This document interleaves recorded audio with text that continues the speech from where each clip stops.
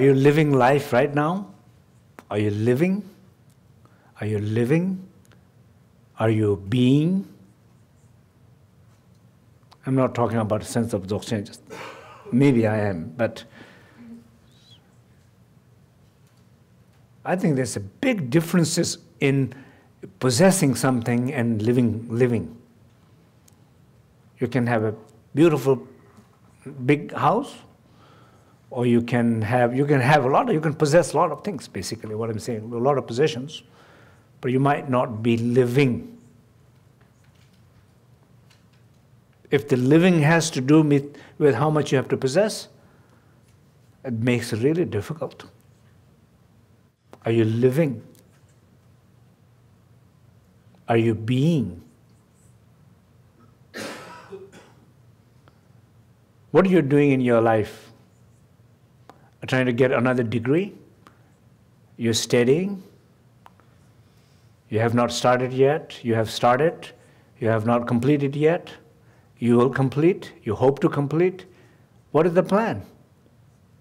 Is it to plan to live?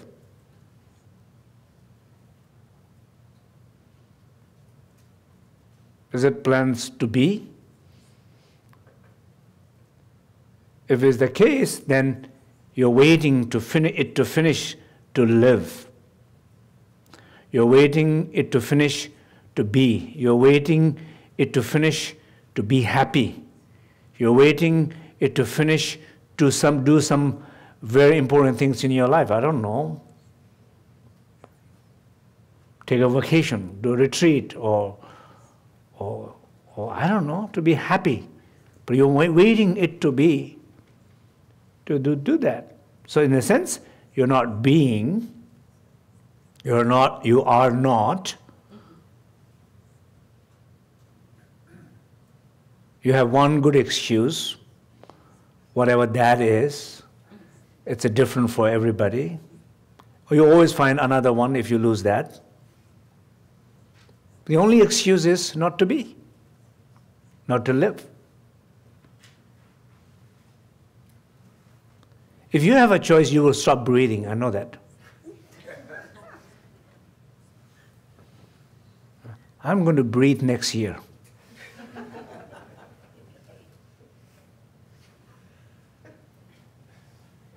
But you go like this, right? So you aren't able to do that. But you are able to breathe bad, which you're doing eh? Breathe shallow, which you do, not to be conscious, which you do.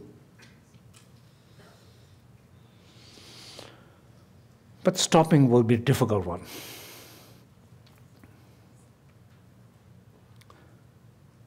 So, so this sense of being, we, we kind of always be trying to avoid it all the time. And in some sense, being has to be something very special. I don't know, what is it?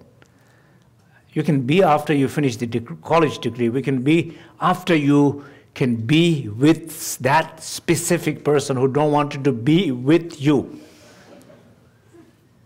So you stop being because I cannot be.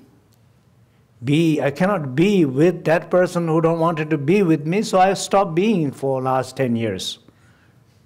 Wow.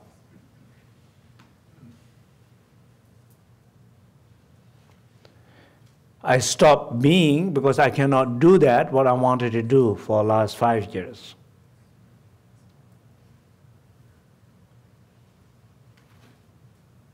I cannot be because I, I don't know. You look at all the excuses. But your being has nothing to do with any of these excuses, has nothing to do with any of them.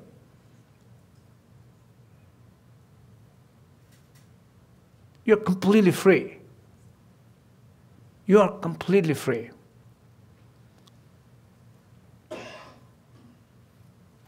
You cannot, you can never not be.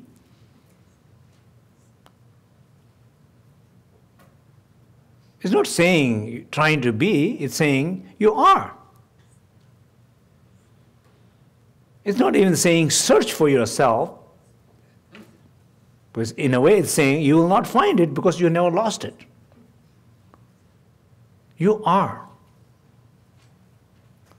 You cannot look for it. You cannot find it. You can just be conscious of it.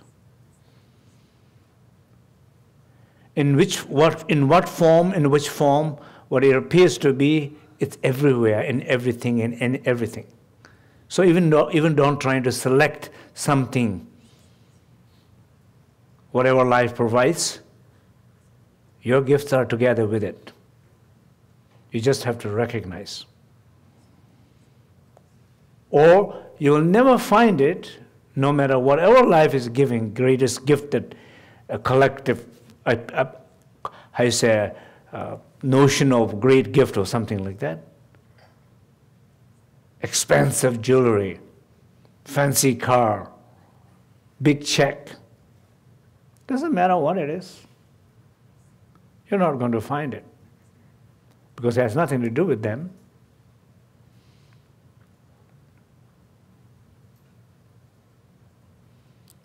Or how little it is, or how nothing it is, you have equal amount of opportunity to experience yourself fully.